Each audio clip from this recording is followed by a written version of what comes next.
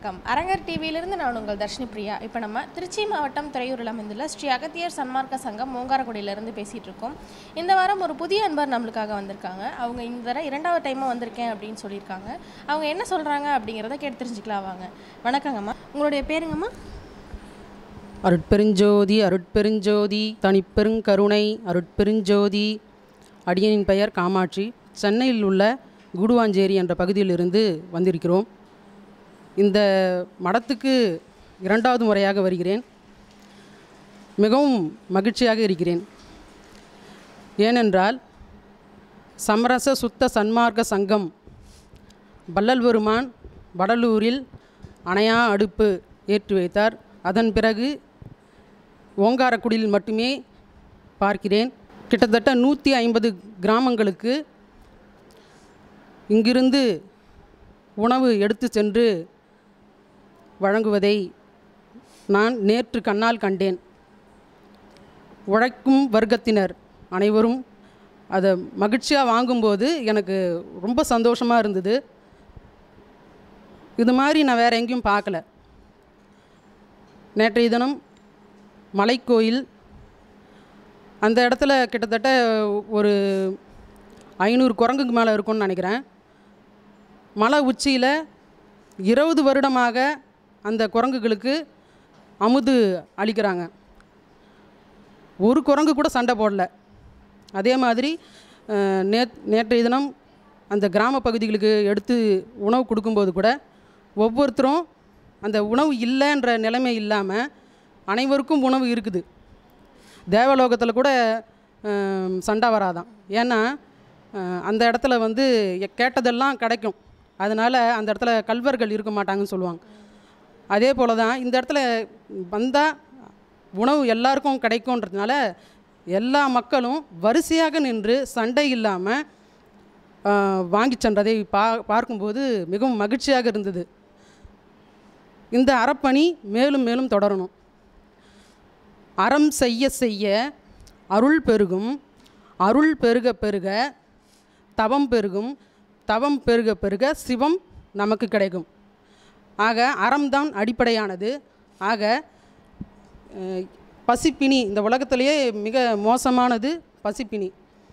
அந்த பசிப்பினியை நீக்குபவர் ஓங்காரக்குடில் ஆசான். வள்ளல் பெருமானுக்கு அடுத்தது இந்த தவசியை தான் நான் பார்க்குறேன்.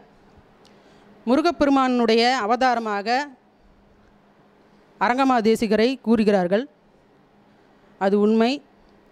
பெம்மான் முருகன் பிறவான் இரவான் அருணகிரிநாதருடைய வாக்கு. அருணகிரிநாதருடைய வாக்கு பொய்க்காது.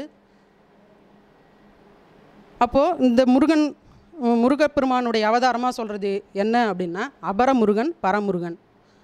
பல பிறவிகளில் இறைவனை வணங்கி வணங்கி முருகப்பெருமானை வணங்கி வணங்கி அருள் நிலையை அடைந்து தவத்தினை அடைந்து முருகப்பெருமானை போன்றே உருவ அமைப்பில் அருள் குணத்தில் திகழ்வார்கள். அந்த நிலையை எழுதியவர்தான் அரங்கமகா தேசிகர் பரமுருகனுக்கு பிறப்பு கிடையாது இறப்பு கிடையாது.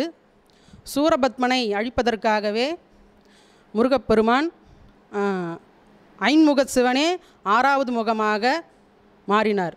ஆக அருமுக சிவம் தான் சொல்லுவோம் முருகப்பெருமானை. பிள்ளைன்னு சிவ சிவத்துக்கு பிள்ளைன்னு சொல்லுவாங்க. ஆனால் சிவமே முருகன் முருகனே சிவம். ஆக இந்த இந்த மாதிரியான இடத்துக்கு வந்ததில் ரொம்ப சந்தோஷம் நாங்கள் எல்லாருமே எங்கள் ஃபேமிலியோடு வந்திருக்கிறோம். ரொம்ப ஆனந்தம் அடைகிறோம் வரக்கூடிய மக்களுக்கு ஏழை எளியோருக்கு யார் என்ன ஜாதி மதம் இனம் இல்லாமல் யார் யாரெல்லாம் வராங்களோ அவங்க அனைவருக்கும் உணவு அளிக்கிறார்கள். தூய்மைன்னு பார்த்திங்கன்னா இந்த இடத்துல தான் நான் பார்க்குறேன் எ- எல்லா இடமும் சுத்தமாக இருக்குங்க. சாப்பிடக்கூடிய தட்டிலேருந்து டம்ளர்லேருந்து எ- எல்லா இடமும் ஒரு தூய்மையாக இருக்குது. இந்த தூய்மை இருக்கும் இடமே இறைவன் இருக்கும் இடம். ஆக இந்த இடத்துல அன்னதானம் செய்கிறது பார்க்கும்போது ரொம்ப மகிழ்ச்சியாக இருக்குது. இந்த உலகத்தில் மிகவும் மோசமான பிணி என்பது பசிப்பிணி தான். இந்த பசிப்பிணியை நீக்குபவராக நம்மளுடைய அரங்கமகா தேசிகர் திகழ்கின்றார். இந்த பகுதியில் மட்டும் கிடையாது சென்னையில் நிறைய பகுதிகளில் பார்க்குறேன் நான் பார்த்த பகுதிகளில் நிறைய இடத்துல நான் பார்த்துருக்குறேன். திருவொற்றியூர் திருவான்மையூர் இந்த மாதிரி பல இடங்களில் பார்த்துருக்குறேன். பட்டணத்தார் சமாதியில் அரங்கமாக தேசிகருடைய அருளாசியும் அருள் உணவும் கொடுப்பாங்க. இதெல்லாம் நான் நிறைய இடத்துல பார்த்துருக்குறேன். ரொம்ப சந்தோஷமாக இருக்குது. ரெண்டாவது முறையாக வந்து பா பெருமானை வந்து தரிசனம் செஞ்சதில். மீண்டும் மீண்டும் வர இறைவன் எனக்கு அருள்பாலிக்க வேண்டும். நாணிகளை பூசிக்க பூசிக்க நம் வினை போகும் அருள் பெருகும் மெய்ஞானம் பெருகும். வாழ்க சத்தியம் வாழ்க அகத்தியம். திருச்சிற்றம்பலம்.